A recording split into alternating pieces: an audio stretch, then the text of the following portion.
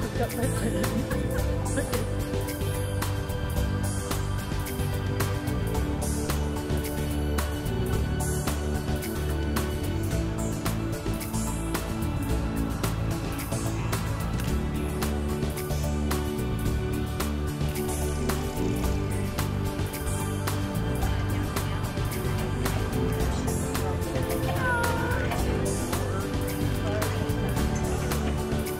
She is so good.